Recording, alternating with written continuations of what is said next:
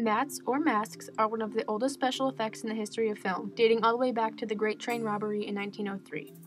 They are also commonly found in sci fi movies like Star Trek.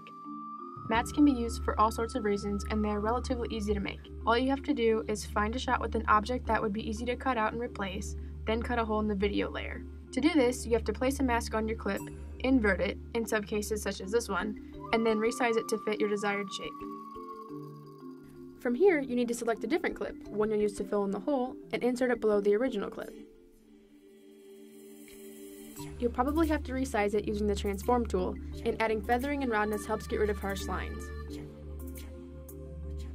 You may also need to rotate your clip to help make it look more convincing.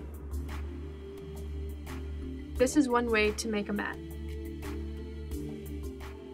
Another way to create a matte is to mask a video layer and put it over top of another clip instead of cutting out a hole. To do this, find two clips you like and put the one you'll be masking on top. Drag and drop the mask of your choice onto the top layer. I chose an 8-point mask for this because it gives you more flexibility than a square mask does. Using the transform tool and the mask's resizing handles, reshape your clip to fit the desired area. Again, feathering is a very useful tool to help get the look you want. Altering the opacity helps a little of the bottom layer show through the top clip. In this case, I decided it would be effective. Now you know both ways to successfully create a matte.